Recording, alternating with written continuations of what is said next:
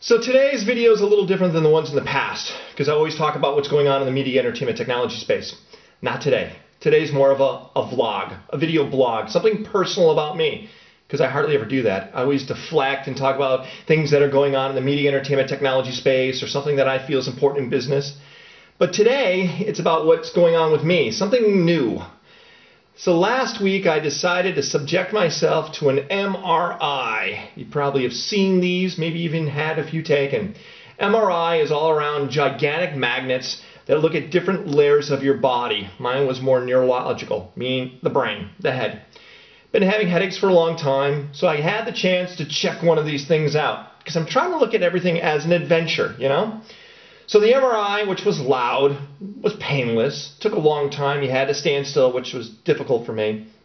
Came out. Don't know what the results are, but that's what this is all about now. Now, what amazed me was this. These MRI systems could range between one million to two and a half million dollars. Imagine these facilities that you go to that have these giant MRIs.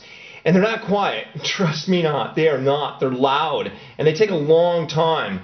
So as I'm sitting in this thing for about 30 minutes, I'm pondering, why can't we advance technology even more? I know this is an advancement, but when we watch Star Trek, which was 40 years ago, or Battlestar Galactica, the early ones with Lorne Greene, they had technology that surpassed everything we had today.